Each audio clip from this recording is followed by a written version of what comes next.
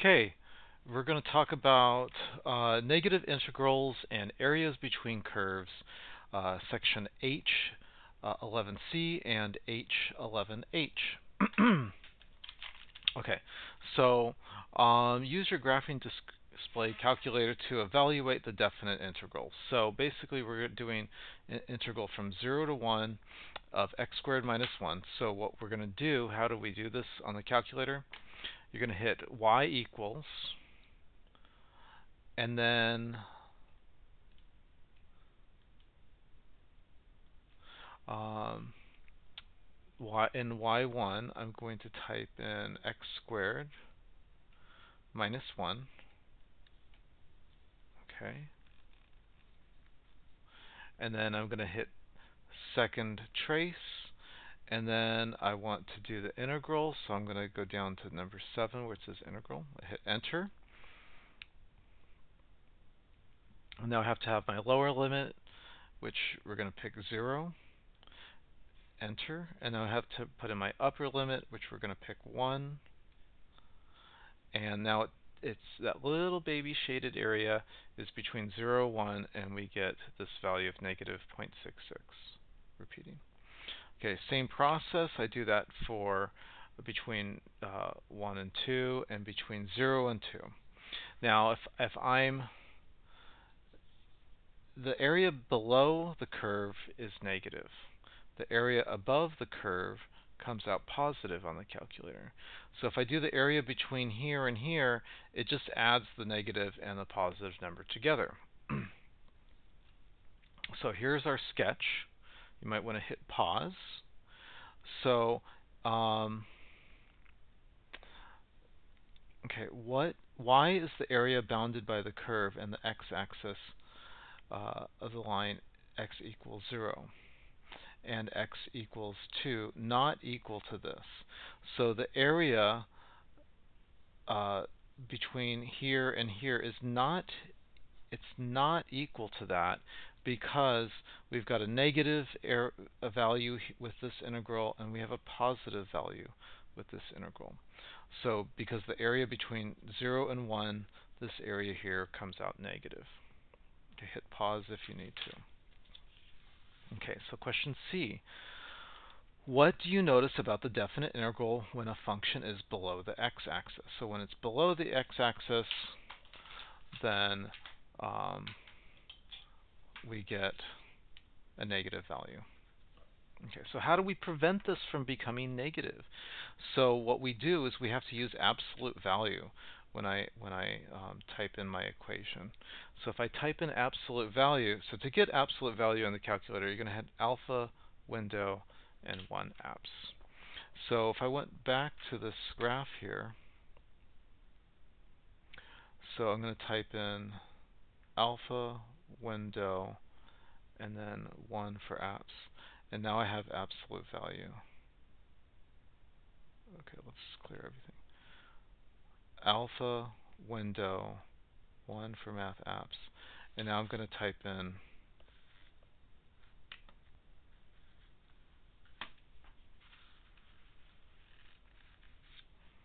um, x squared minus 1 graph. And so this part here that was below the x-axis is now going to be above the x-axis. And here it'll just look like this. So this little bitty part that was below the x-axis is now above the x-axis because we did the absolute value. And so now, if I do the integral from 0 to 2, so second trace, 7 for integral. And now if my lower limit is 0 and my upper limit is 2, it gives me that that area is 2. So what basically what's just happened is um, it, this didn't come out negative since we used absolute value, and it actually uh, calculated the area underneath both parts, and it took both parts into consideration. Okay. So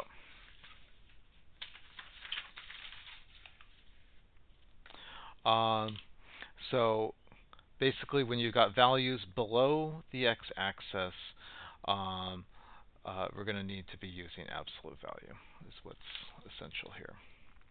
Okay. Um, thank you for those in class who helped me figure out that I had made a mistake here. I had accidentally, because my graph was between 0 and 3, I accidentally did my integral. In fact, this is picture is wrong. It's only supposed to be to here.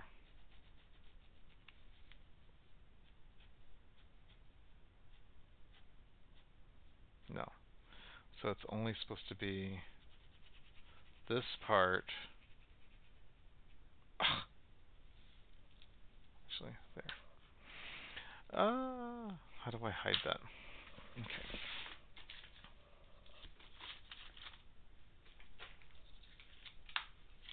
Oh, that's a good thing to do.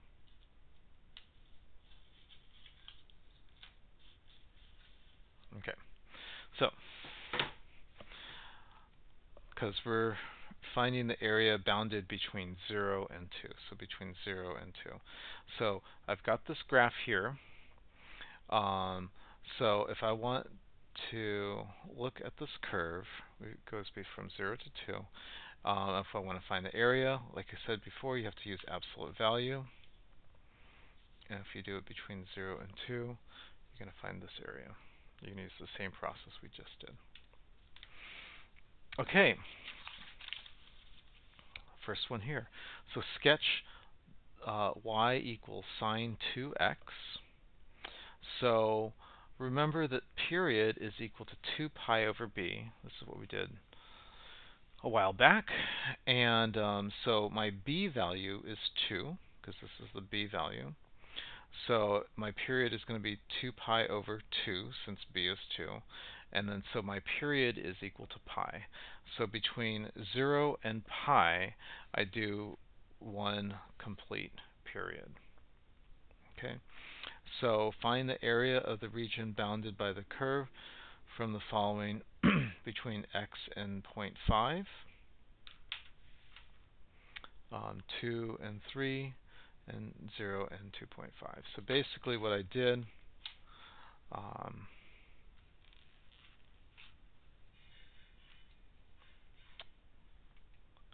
okay, absolute value, so second alpha window absolute value, sine of 2x,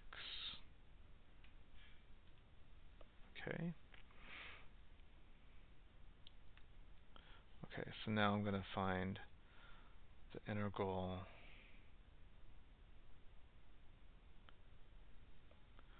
between 0 and 0.5. And I get this area here. Okay, and you can see how the sign um, it's made all of the, this part here, it's moved it up here. Okay, and that's what's happened on this graph. Okay, so check your answers. All right. Sketch the curve y equals 4 divided by x minus 2 minus 2. So if you type that into your calculator, 4 divided by parentheses x minus 2, and then minus 2.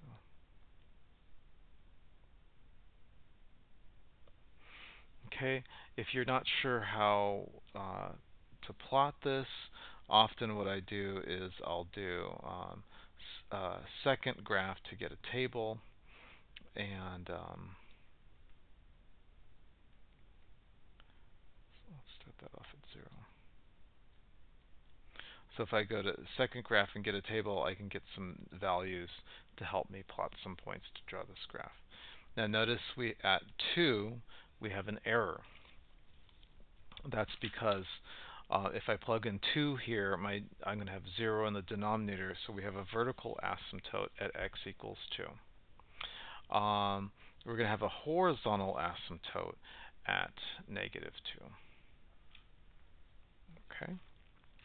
Explain why it's not possible to calculate uh, the uh, integral from 0 to 3. We can't calculate this integral because between between 0 and 3 we've got this um, undefined period where um, at x equals 2. All right, question C. Find the area of the curve bounded by the region and the x-axis between 3 and 4. So um, I'll just do one of these here. So between 3 and 4, let's hit second trace. We're going to do the integral there, number 7. Okay, so we're going to, the lower bound is 3. Right? Enter. The upper bound is 4. Enter. And then there's my answer, 0.7725. This is what we got here. Okay. We do the same thing between 4 and 6. Second trace. Oh, I can't see between. 7. Enter. Lower bound is 4. Upper bound is 6. And it's this part over here. And it says negative 1.22. So if I've got this part right here, which is this red part right here, and I've got this part right here, which is this other red part here below the x-axis, if I add those together, then I'm going to get this area here. Okay. So this is another way, if I didn't want to do absolute value, I could just find this area on the left and this area on the right, which is below the x-axis, and then just change the sign on that one and add it together. You'd need to do it that way if you weren't using the calculator. So, okay, area between two curves. So, um, to find the area between two curves, I need to figure out the area above the curve and subtract the area below the curve. So, um, so let's look at this picture here. So the area above the curve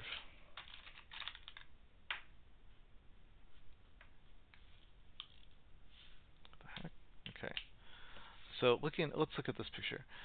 f of x dx is this whole part right here.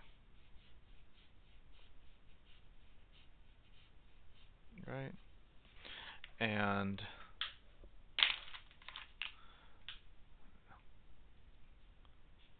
the area of g of x dx is this guy here. So if I take the yellow area minus the blue area, we're going to get this leftover area that's right there. Okay. So let's do some examples. okay, so I need to subtract one from the other. But in this example here, um,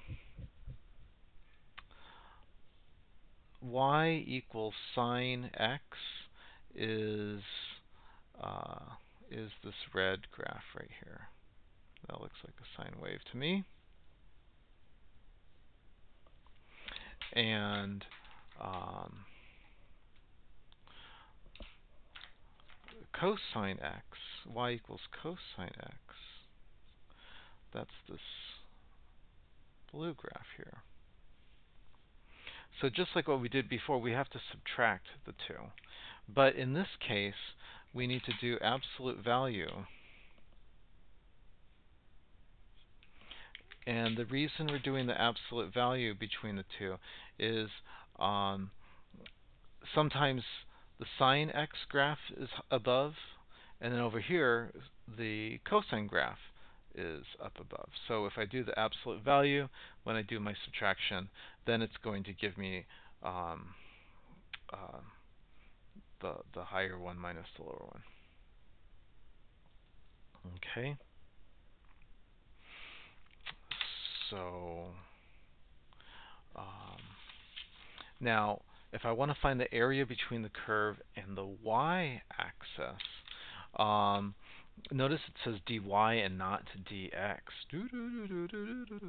So what we have to do is in order to if change my function to dy, we're going to have to use the inverse function.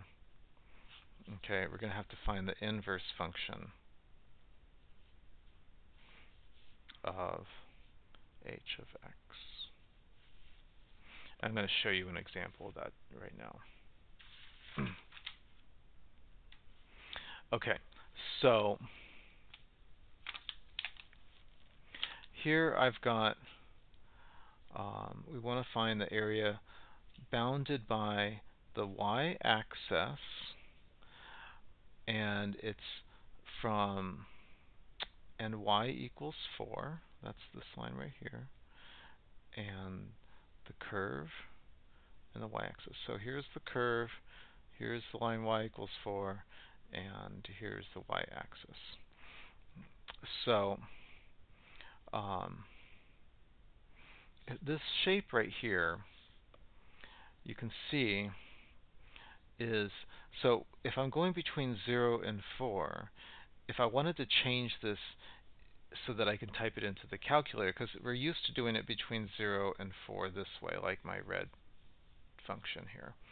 So I need to find the function for the inverse of this function.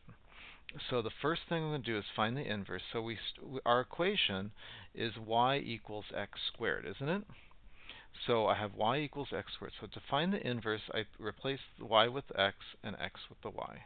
And then I can take the square root of both sides, and I get y equals um, a square root of x.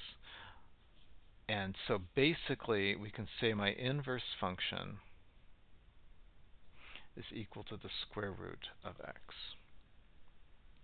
Okay, and so now I can do the integral from 0 to 4 of the square root of x dx, and that's going to give us what we want. Okay, so the what they wrote here might have confused you a little bit.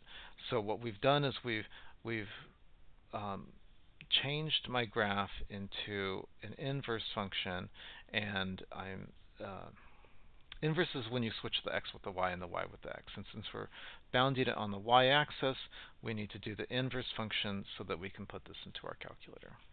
I hope I explained that right. Please let me know if I need to explain it differently. Um, so let's type in this equation. Square root of x. So square root x. Okay, second trace. So we're going to do the integral from 0 to 4. The lower bound is 0.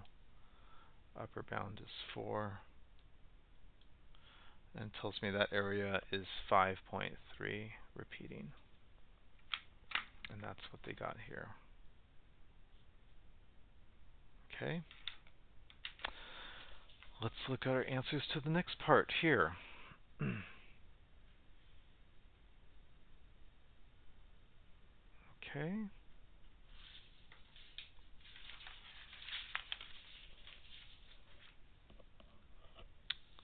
Let's look at this part here. And from here to here. So what I we needed this point here 1.5. So this one was a tricky one. I remember when I did this earlier.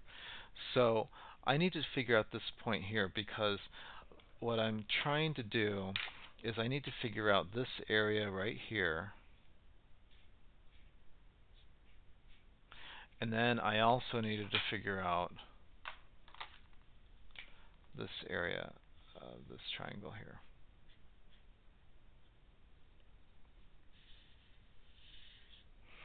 So, um, so the blue area is bound between this curve, which is x squared, and the x-axis, right?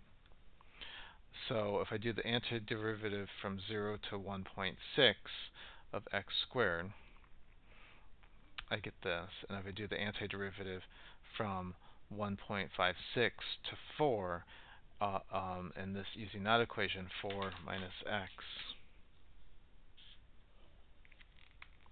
I get this. Now, how did I get the 1.56? Okay, that's what's important. So um, we type in the two equations. That's what I did. One equation is x squared, and the other equation is 4 minus x. And if I graph those, we have our parabola and our straight line. And I need to figure out that intersection. Whoa. So to figure out the intersection, second trace, go down to intersect, I hit enter, and I need to arrow close to it so I get the correct intersection and not, not this other one over here. So I've arrowed close to it, first curve, enter, second curve, enter, guess, enter, and my intersection is 1.56. Okay. Um,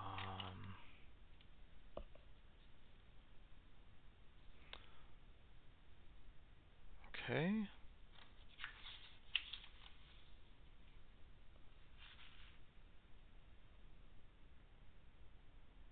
Okay, so here's another one where it's bound by the um, y-axis. Okay, this picture, the scale of this one is totally not right. So this picture is misleading. Um, so find the area of the shaded region bound by y over 3x and the y-axis. Okay, so once again, if, I, if we're bounding it with the y-axis, I first need to find the inverse function. So if I've got y equals 3 over x, so I'm going to switch the y and turn it into x, and switch the x and turn it into y. Um, but, you know, this is interesting. I could cross multiply and switch it around, and I still get the same thing. This is symmetrical. So, um, and we're doing it between 1 and 3. And there we go.